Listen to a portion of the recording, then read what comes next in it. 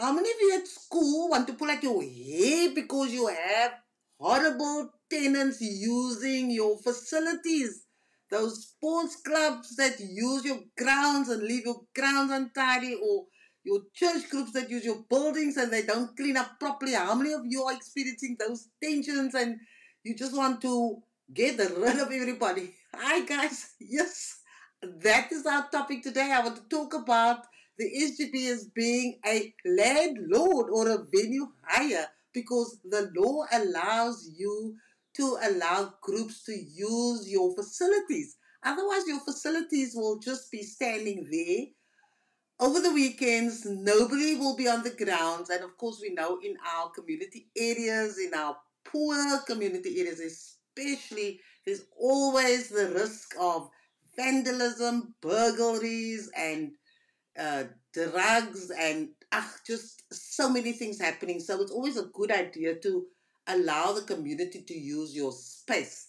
And then I just want to make reference to um, the governing body function that we are talking about, and that is in the South African Schools Act, um, Section 20, and today we are looking at Section 20, subsection 2, because that is where you get your power from as a governing body to say that you may um, allow other groups to use your facilities. Okay, so let's just have a look at that and read it. I had it open just before I started, but now, of course, it's missing in action now. Right, so let's just have a look at that. It's section 20, um, subsection 2. It says the governing body may allow the reasonable use, operative word is reasonable, reasonable use of the facilities of the school for the community, social, and school fundraising purposes, subject to such reasonable and equitable conditions as the governing body may determine, which may include the charging of a fee or a tariff which accrues to the school. There, you can see that the law allows you to be a landlord and a venue hirer. So you may rent out or lease or hire out your school facilities to various organizations, especially those organizations that will help your school to develop. So you can hire out your facilities to the sports clubs in your area, to social groupings in your area, and um, to other organizations. But I think the key thing that schools must remember is that yes, they will probably be on the premises and so they will help you with the security because we mentioned all the possible hazards and dangers that schools experience and the losses that schools experience because the buildings are vacant over the weekends and during the holidays. So there is that security element that the, the organizations will offer the school. But you also need to see whether those organizations are adding value to your school and whether you are not just picking up more expenses because they are using the facilities, right? So just think if you have an organization at the school, it means that you must allocate a part of the building or a section of the building to that organization. They will probably use your ablution blocks or your toilet facilities, your bathroom facilities, so there needs to be sanitation and there needs to be things like toilet paper in your um, ablution blocks or toilet facilities. Then you they are going to have litter. So obviously they will also be filling your refuse bins and um, they're going to use electricity. So that means that your electricity costs will also increase. They are going to make use of the water, so your water is going to increase. So those utility services that you are offering at the school must be factored in when you have an agreement with those groups. You cannot just allow them to use the premises without making some form of contribution. And it doesn't have to be a financial contribution because many of our community schools have such a high level of unemployment anyway so perhaps those organizations are just offering a service to the community. perhaps it's women's groups or men's groups or um, social clubs for young people and they don't really have money. But you can find a way where they can pay you in kind. What do they offer? Who is coming to these clubs? Are they servicing your parents? Are they offering the services to your young people? You know, are your learners and parents benefiting directly as well from these services that are being offered? And so those are things that you need to consider when you allow people to use the school buildings because there's a very strong um, move to get the school to integrate with the community that it's in. Right? So, what better way to allow the community to use your facilities? But you cannot allow the community just to use the facilities and then you pick up additional costs. And most of our schools are already struggling financially. So those are things that you have to take into account.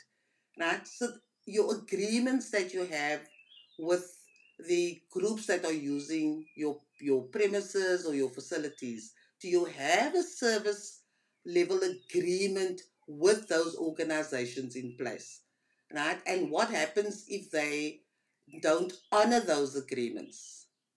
Um, do they do you check to see if they have um, insurance liability as well. Because what happens if one of the people who are coming to that social club or playing the sport or um, anybody who's attending those clubs or groups, what happens if they get injured at your school? Do you have to cover that? Is that part of your insurance liability? Or are you discussing those things with the groups that want to use your premises as well. And then, of course, if it's an organization that works with children, then there are other legal requirements in terms of what must be in place and what um, guarantees do you have that they are covered, that the children are protected because they are vulnerable and they're open to all kinds of exploitation and abuse. So I'm just raising this because we we need to, on the one hand, allow the community to use the school, and it's a way of generating funds as well because those who can pay cash for the hiring of the facilities or the use of the facilities, they need to make a financial contribution. And then, of course, you don't want to exclude those groups that are helping the community to have services. And so you're benefiting from that because your children and your parents will benefit from that. Right? So you don't want to exclude them from becoming part of the broader community where the school is playing that role to act as a networking point. But you also need to think about the value that it offers besides just bringing in general value. You really have to sit down and and examine what exactly are you getting from the various organizations in terms of support and adding value to your parents and your learners and of course the broader community. Okay so i thought i'll underscore that point in this session um, in terms of having opening up the school yes being aware that you now have landlord status or if you're hiring out your facilities then you are the event hirer or the venue hirer, and with that comes responsibilities. So, do you have um, all those documents in place to make sure that that partnership between you and the the venue hirer or the tenant will know exactly how the relationship works. Okay, so I think that is probably enough just for the introduction because I want to speak about um, who, you know, ask questions about who's, ex- do you know who's in your school? How many groups are using your school? Um, do you have a, a variety of different services at your school? And um, are there perhaps opportunities for you to find other organizations in the community to use your school? But we'll chat about that in the next session on you as the landlord or the venue hirer. This was just an introduction and I hope you enjoyed it and that as part of your homework, you can start looking at who exactly is currently using your facilities, right? Which what are the groups? Um, when do they use it? Is it on a monthly basis, weekly basis? Um, how obvious, how often are they using it? And what services are they providing? And are those services also beneficial to your parents and your learners?